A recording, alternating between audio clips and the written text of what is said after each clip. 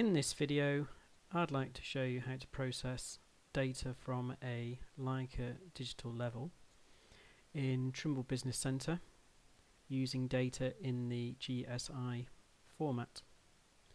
So the first thing I'm going to do here is start a new project and select the template that I wish to use and then it's simply a case of dragging and dropping the GSI file into the TBC plan view. So I'll go with quite a simple file to begin with. So I'm just going to drag and drop it in. The input format editor identifies the file contents as relating to a Leica GSI 8-bit file. You can see a preview of the, the source data in here and the structured information here.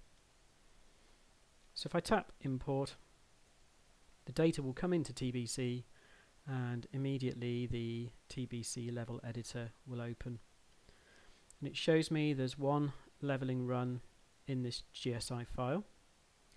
I've got the sum of the backsight distances here, the sum of the foresight distances here, the run misclosure, the run name, which can be changed if required, and it's possible here to enter the uh, specifications of the level, uh, standard errors, units per kilometre, or to specify the standard error on a per station setup basis. The table by default will show both the height of instrument or the computed height of collimation and also the delta elevation or the rise and fall if you're more familiar with that term. Depending on your preference you can turn that information, these columns on and off using the show columns tick boxes down here. So I'm going to leave them both on for this video. The level editor is very easy to use, it's pretty self-explanatory. We've got the uh, first measured point name at the top here. We can see the backsight staff measurement to that point. Over here we've got the initial starting level or assigned level for that location, that point, SS5, and it's given benchmark status. Reading down, then we've got a foresight to a point called CP1. Here's the foresight staff measurement here, uh, the delta elevation or the, the rise and fall, if you prefer. And here's the new uh, reduced level for point CP1.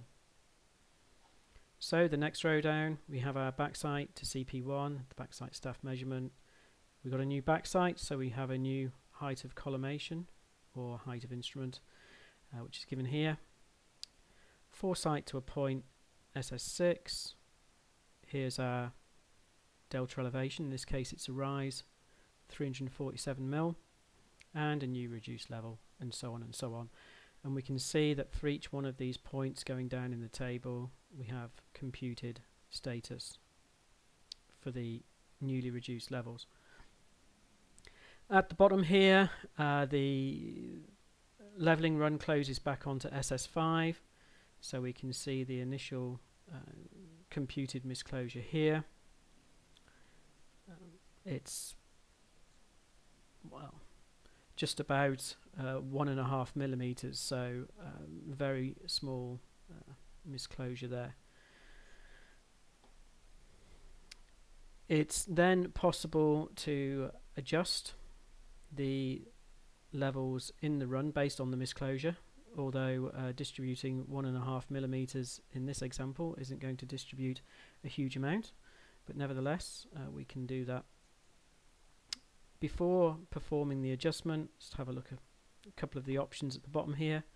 These really relate to TBC and potential further processing. So the creation options, when it creates new points in the TBC project from this leveling survey, can they be adjusted in a network adjustment or will they be created as control coordinates that would be used as control reference in the project?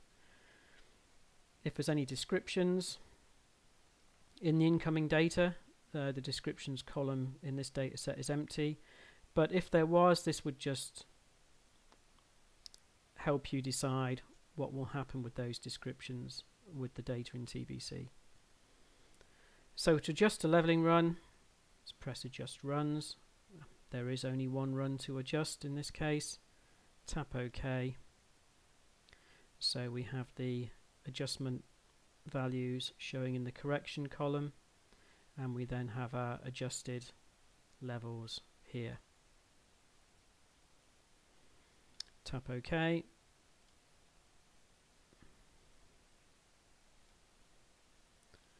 Open the point manager in Trimble Business Center or the point spreadsheet and here we can see the adjusted levels for each of the points in the leveling run. Okay, let's look at another example. I'm just going to close that project and start a new one. Bring in a second GSI file Okay, so this one has two runs. On the first one here, there's no misclosure showing, so it would suggest that it's not closing onto a point with a, a known level. So we scroll down to the bottom of the observations. We can see here there's a point F7, uh, which is a benchmark point. If we scroll up the data yeah F7 also occurs here. So it looks like a a linear traverse from F4 to F7 and then a, a double level or a loop back to F7 there's then an additional observation uh, to a point 29 which is why there's no misclosure value showing up here because 29 isn't the benchmark. So what I'm going to do is I'm going to right click on that and just delete that particular setup. So now for run 001 I have my misclosure. It closes onto a point with a known elevation and I would be able to go ahead and adjust the data. Where these yellow disks have appeared indicates that these point IDs or station names also occur in another run in the file. So yeah, there is another run, 0002, and these points, these stations also occur in run 002. So it would be possible to adjust these runs separately if appropriate and desirable, you can also hit merge runs and merge the runs together to create a new run. So in this case, I'm just going to adjust the run separately. They're both ticked. Hit OK. So I get adjustments for run 002 and adjusted levels for the run 001. So now both runs have been adjusted. Tapping OK will bring the data into TBC. Going to the point spreadsheet, we can see the adjusted levels shown in the elevation column for each of the points in the project that have been derived from the GSI file. So there we have the processing of the, the Leica GSI data in Trimble Business Center.